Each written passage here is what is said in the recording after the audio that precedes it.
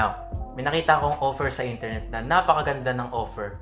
Di ko maiwasan ito at napilitan akong bilhin. At ito yung Gomo SIM card. So, nabili ko to at ginagamit ko to ng lagpas isang linggo. At dito sa video na to, pag-uusapan natin kung totoo ba ito, sulit ba ito, maganda ba to. Ito ang Gomo SIM card, binili ko to noong January 15 at nakuha ko ng January 18. So, 3 days yung shipping niya. Sa mga hindi nakakalam, itong Gomo SIM card ay underglow.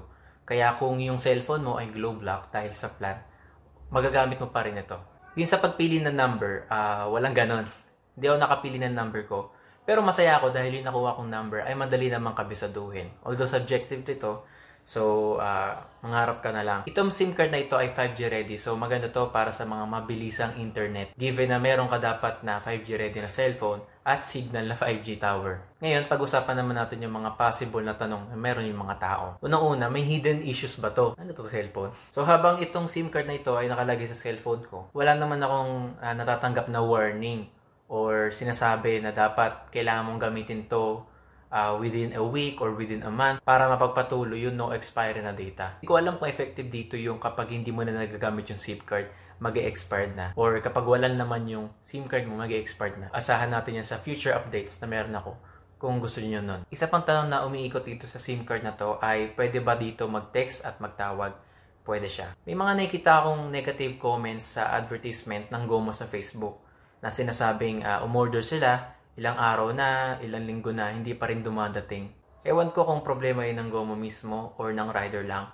Pero sa akin naman dumating siya at mabilis. So kung nagkaalinlangan kayong bumili nito, dahil sa mga comments na yun, hindi natin sure kung totoo ba yun or mga nagbabash lang yun para masiraan yung company. Pero sa akin, okay naman. So, kayo na bahala mag-decide. Ngayon, yung 25 gig, worth it ba siya sa babayaran mo?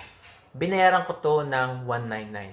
At sa presyo na yun, sobrang sulit yun. Kasi 25 gig for 200 pesos. Wala ka na mahanap na ganun. At lalo-lalo na, walang expiration pa. Pero dahil tapos na yung promo, ang presyo na lang ng Gomo ay 299 for 25 gig.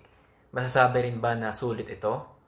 Medyo sulit pa rin ito. Kung matagal ka ng Globe user, for sure alam mo yung mga Go Sakto 70 at Go Sakto 90 na mga load na prepaid. Naniniwala pa rin ako na sulit pa rin itong Gomo dahil yung mga Go Sakto na yon, mga Gas Combo DD, meron silang mga certain apps na dapat lang paggamitan ng data. At yung consumable mo sa GoSakto 70, 1 gig lang. Or sa GoSakto 92 gig lang. So, limitado ka sa pwede mong magamit at sa pwede mong paggamitan. Pero dito sa GoMo na to, yung buong 25, kahit saang apps pwede mong gamitin. At wala pa tong expiration. Okay siya kung hindi ka naman mahiling mag-data masyado dahil may wifi naman kayo sa bahay. Maganda rin ito sa mga pagta-travel mo kung saan ka man pumupunta ngayon, kung nagko-commute ka, hindi ka na mag-worry kung meron ka ba load o hindi, kung nagpa-load ka ba or hindi pa. Dahil alam mo na meron kang load pa. At dahil walang expiration ng data mo, hindi ka mapipilitang kailangan mong ubusin ito or sayangin ito para lang mas masulit mo. Anytime pwede mo gamitin, pwede mong hindi gamitin. Kaya maganda talaga siya para sa akin based sa experience ko. At nga pala, free shipping din ito pero hanggang February 15 lang. Kung gusto niyo bumili, bili na kayo ng mas maaga pa. Teka Wesley, ba't puro positive yung mga sinasabi mo dito sa SIM card na ito? Too good to be true ba to? Siguro, siguro hindi. Medyo maaga pa naman kaya hindi natin alam kung meron ba ito mga tinatagong agenda or mga rules kung paano gamitin yung data. Pero sa ngayon, maganda naman yung experience ko. Kaya naman maganda rin yung feedback ko. Kaya sa ngayon, nire-recommend ko itong Gomo SIM card na to at lalo-lalo na para sa mga mahilig magtipid. Kasi bawat data na ginagamit mo, yun lang yung nako-consume. Pero at the same time, hindi mo kailangan ubusin ito. Kaya sa mga gustong bumili, uh, nire-recommend ko na bumili na kayo bago pa mag-February 14. At yung link pala nandito sa description sa baba. Kung nagustuhan nyo itong video na to, like lang kayo. Kung hindi, okay lang. Subscribe kayo at hit yung bell para sa mga susunod na video. Bye!